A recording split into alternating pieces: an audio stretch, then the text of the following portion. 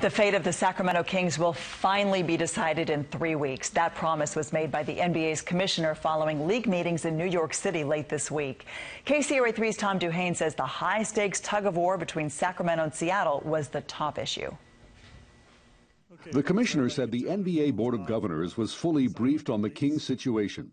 On arena proposals, financing, uh, funding, sources of funding, likely timelines, and a variety of other things. Stern said a key issue is the critical path of construction of new arenas, concerns about red tape or litigation that might cause delays. The Maloofs sent the league a letter this week saying they prefer the richer Seattle offer, saying Sacramento's bid was deficient. But Stern disagreed. It's in the ballpark and it's uh, it's it's there. But there are other issues that we just need some more answers on.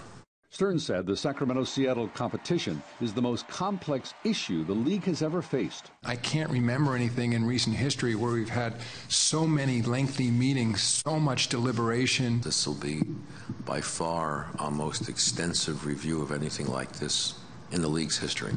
The commissioner says the relocation committee will meet next week to vote on a recommendation. Then a report will be sent to each owner in advance of a full league vote in the first week of May. One unidentified owner was quoted as saying, It's 50 50. It could go either way. In Sacramento, Tom DuHain, KCRA 3 reports. The commissioner said the first order of business will be a vote on relocation.